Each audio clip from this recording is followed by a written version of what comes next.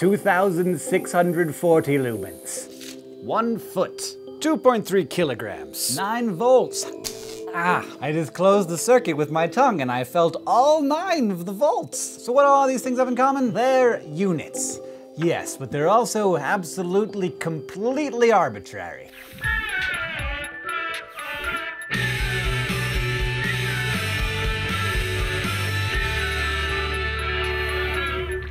Know who decides how much a kilogram weighs? A hunk of platinum and iridium known as the International Prototype Kilogram, or IPK. The IPK isn't just how much a kilogram weighs. In a very real sense, the IPK is the kilogram. Every other kilogram is exactly the same as the IPK, and the IPK is the lump of metal that decides what that mass is. A kilogram is defined as being the same mass as the IPK. We made kilograms up, just like we made up seconds and weeks and volts and newtons. There's nothing about these things that makes them them.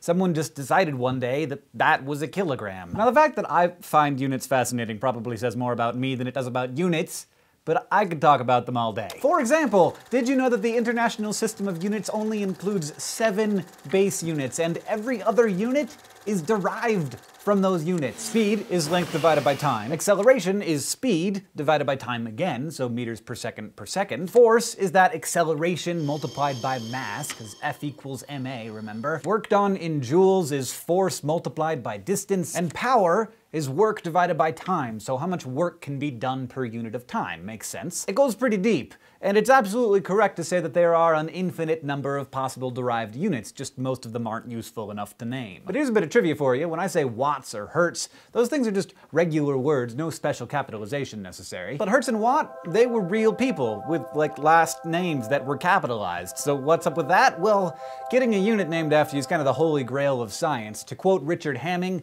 true greatness is when your name, like Hertz and Watt, spelled with a lowercase letter. Of course, when these geniuses were first piecing together how the world worked, they had no idea that there were fundamental basic units beneath it all. They were basing all of their units on arbitrary values because, well, how could there possibly be a fundamental amount of mass or distance? Interestingly, one of the standard base units is derived from an actual value, though not a universal one. The second is 1 60th of 1 60th of 1 24th of the time it takes for the Earth to rotate a single time. That's something, at least, but it also illustrates an interesting point. As fundamental as that seems, when you get down to the dirty details, things start to get kind of cloudy. The Earth's rotation, for example, is slowing down. Does that mean that seconds should also slow down?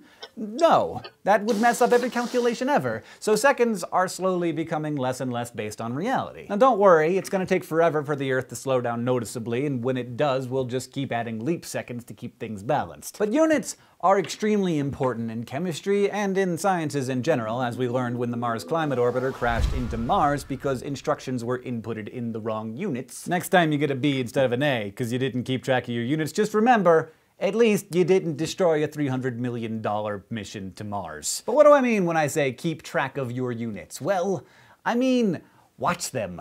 Do not let them do anything you didn't tell them to do because they're sneaky and a lot of chemistry is just converting between units. So say you're in a car, and the car is going 60 miles per hour. Now, right now, everyone who doesn't live in America is like, boo, miles are terrible, convert to kilometers, Hank. Well, I'll do you one better. From a scientific perspective, kilometers are terrible too. They're just as arbitrary. We should use something more universal, like light years, the amount of distance light can travel in a year. And hours, hours is no fun, so let's convert to light years per second. 60 miles per hour. When, when you say it, it sounds like a whole number with a single unit, but it's not. It's actually a fraction. 60 miles over one hour.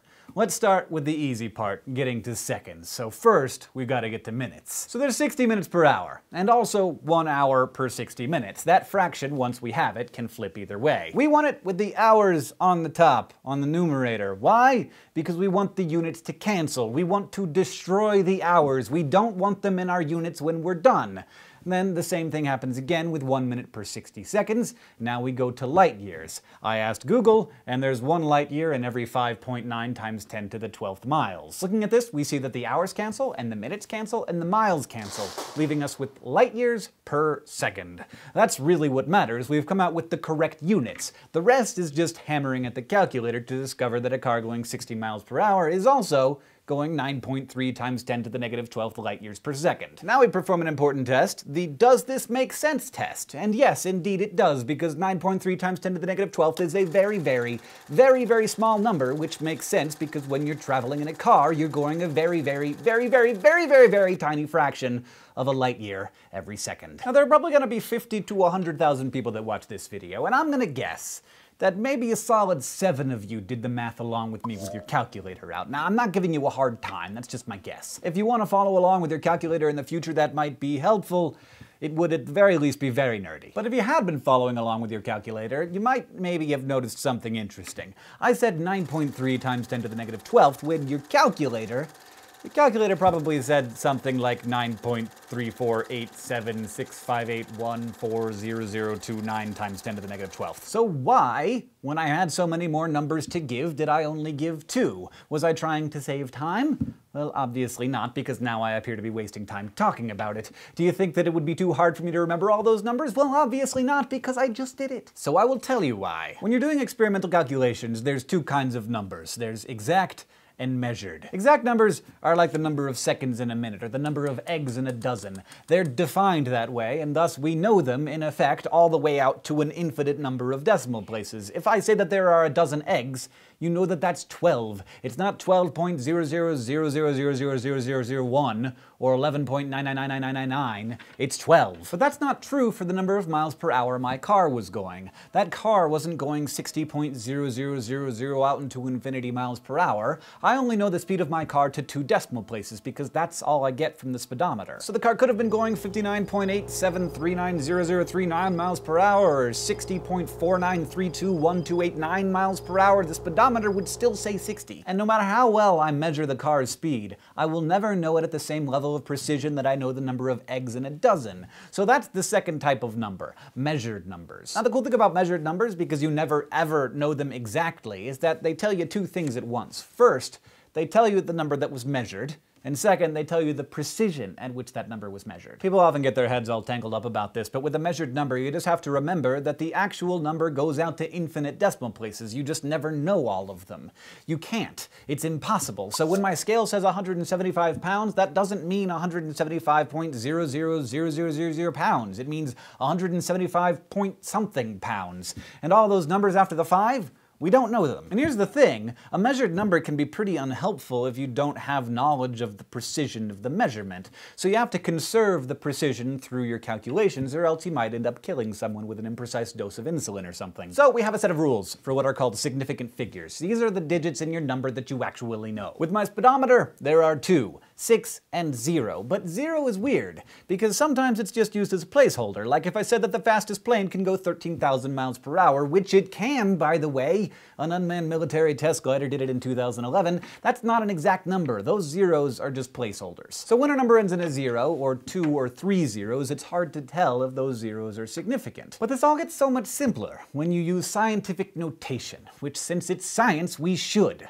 So 60 miles per hour would instead be 6.0 times 10 to the first power. We get that 0 is significant because we wrote it, otherwise it would just be 6 times 10 to the first power. We keep that 0 around because we actually know it. Scientific notation is awesome, by the way, once you get the hang of it. If you're having trouble, you can always just type it into Google or your calculator to see exactly what number we're talking about, but the number of the exponent just tells you how many places to move the decimal point. So to the first power, you move it 1 to the right, and you get 60. To the negative first power, you move the decimal point 1 place place to the left and you get 0.60. To the fifth power, 1, 2, 3, 4, 5, and you get 6 with 5 zeros, or 600,000. Of course, your significant figures get preserved, so 2.4590 times 10 to the negative fourth is 0.00024590, and you still get the same 5 sig figs. Now to the magic of figuring out how many sig figs your answer should have. There are two simple rules for this. If it's addition or subtraction, it's only the number of figures after the decimal point that matters. The number with the fewest figures after the decimal point decides how many figures you can have after the decimal in your answer. So 1,400 1495.2 plus 1.9903.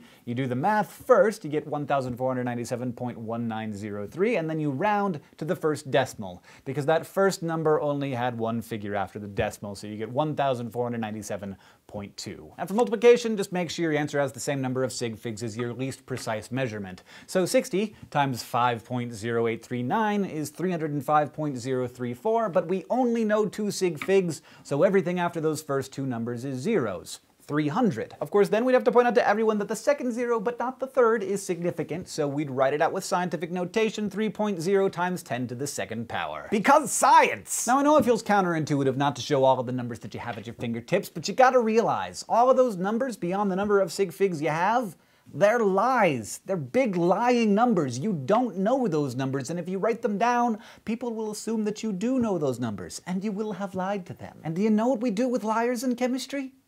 We kill them. Thank you for watching this episode of Crash Course Chemistry. Today you learned some keys to understanding the mathematics of chemistry, and you'll want to remember this episode in case you get caught up later down the road.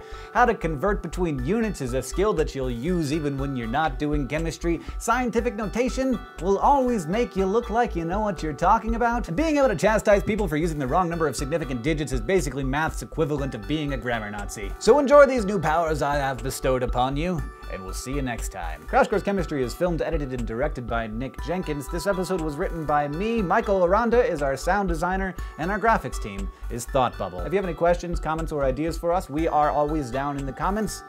Thank you for watching Crash Course Chemistry.